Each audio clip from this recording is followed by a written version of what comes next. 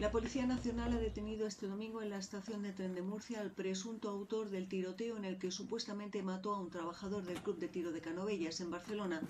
El suceso ocurrió la tarde del sábado por causas que investigan los Mossos de Escuadra. El agresor abrió fuego contra la víctima cuando ambos estaban en este club privado de tiro situado en Canovellas.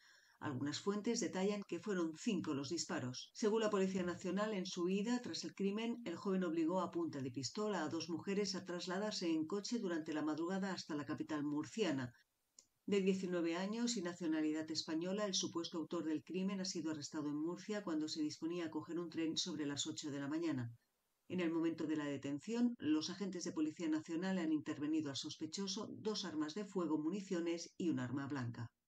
El detenido se presentó a las pruebas de acceso para ser soldado profesional en el Ejército de Tierra, aunque en septiembre del 2022 fue dado de baja por el proceso selectivo tras pedirlo, con lo que no llegó a ser militar. La víctima quedó inicialmente herida, crítica, pero falleció poco después, mientras los Mossos de Escuadra habían una investigación para tratar de identificar, localizar y detener al autor de los disparos, para lo que se desplegaron por la zona numerosos controles.